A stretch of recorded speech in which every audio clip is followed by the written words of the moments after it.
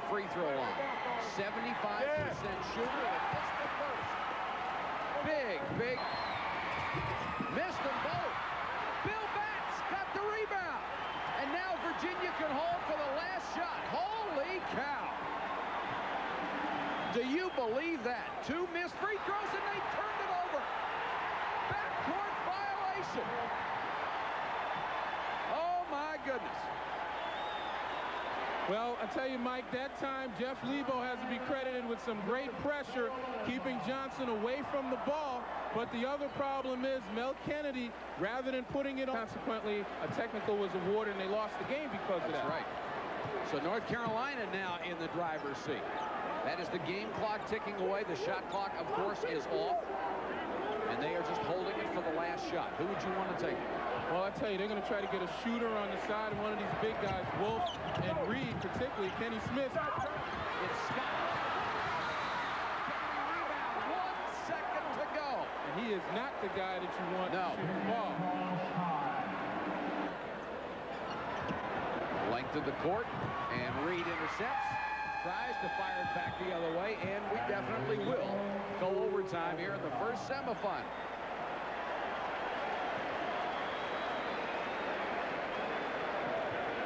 Seventy-two, seventy-two. Each team will get knows maybe gun shy. They're going to really look for J.R. Reid. J.R. starting out high now against his passing game, but you can bet he's going to go to the opposite block, look for the lob, or try to get the ball in the post. And there they are looking for him right now.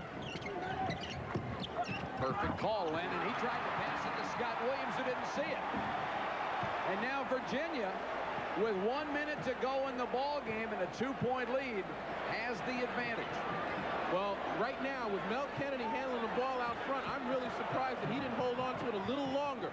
Force JR to come on outside and play. John Johnson being denied the ball by Lebo. Now he's got it.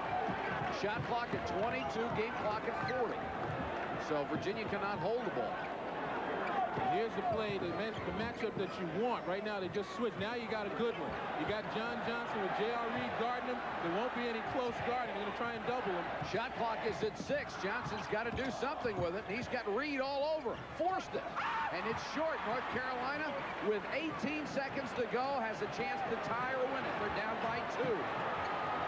No timeout. Kenny Smith.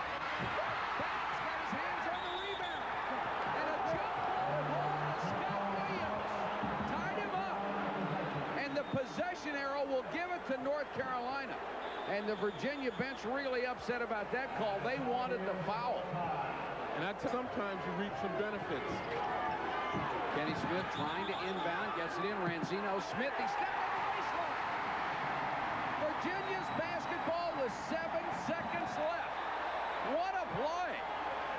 Big mistake by Virginia, though. Career high 23 yesterday, has four this afternoon.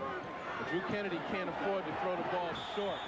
And he calls the timeout because he couldn't get it in. Best defensive players on the floor.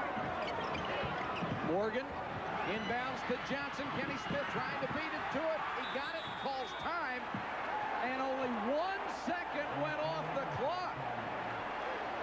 One second. In this league, if not the fastest, you got the clock in the bottom right-hand corner. Here's the foot race. It will John start Johnson. when it's touched. Should be six. Should be down to about four seconds, I believe. And there is Dean Smith watching it. Well, we don't know if that was really in, in um, I guess, live type of fashion on that tape. No, it was slow motion, so we can't tell. But it looked like about three seconds would have gone off the clock. Has yet another chance.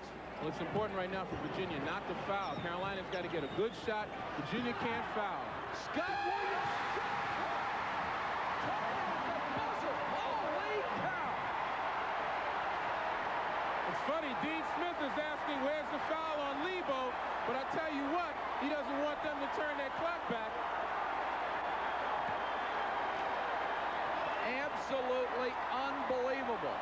That had to be a 15-foot jump hook. A jumper who shot an air ball that shows you what a little experience can do for you. Oh, this Lebo time he was had, fouled. This time he had ice water in his veins. Lebo was fouled in front of the bench. Watch the coaches again on this last shot. And Lebo was definitely hacked on the arm. Carolina got a break there. Or did not get a break, but they got the break when Williams hit the jump hook. Despair turns to joy in about the blink of an eyelash. Well, you can almost hear Dean say, look, a foul. Oh, great shot. Exactly.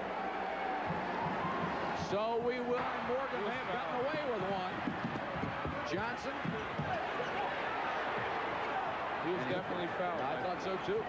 Get it back to. At some point in time, I would hope that the Virginia defenders, if they're awake, will recognize that Kenny Smith shouldn't get the ball back. Richard Morgan lets Kenny Smith get it back, though. At this point in time, that's the man who you want to have the hands the ball.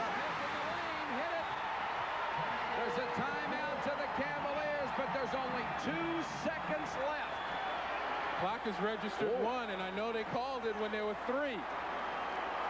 And Carolina may have gotten the free, that's the man you want to have his hands on the ball. He creates so many things.